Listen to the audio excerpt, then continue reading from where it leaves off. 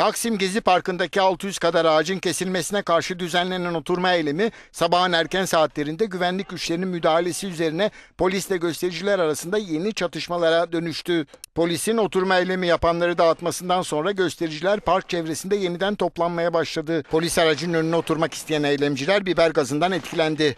Etkilenenler arasında Cumhuriyet Halk Partisi Genel Başkan Yardımcısı Gürsel Tekin de bulunuyor. Gazeteci Ahmet Şık ise başından yaralandı. Polisin tazikli su ve biber gazı kullanması üzerine bir duvara tırmanan protesto eylemcilerinden 10 kadarı duvarın yıkılması üzerine çeşitli yerlerinden yaralandı. Etrafı barikatlarla çevrili parkın girişine izin verilmiyor. Olaylar nedeniyle bölgede trafik zaman zaman aksıyor. Gezi Parkı'nda 1940'lı yıllara kadar ayakta olan eski Topçu Kışlası'nın kültür ve ticaret merkezi olarak yeniden inşası yönünde hazırlıklar bir süredir devam ediyordu. Ancak buldozerlerin parka girerek kesime girişmesi pazartesi günü başladı.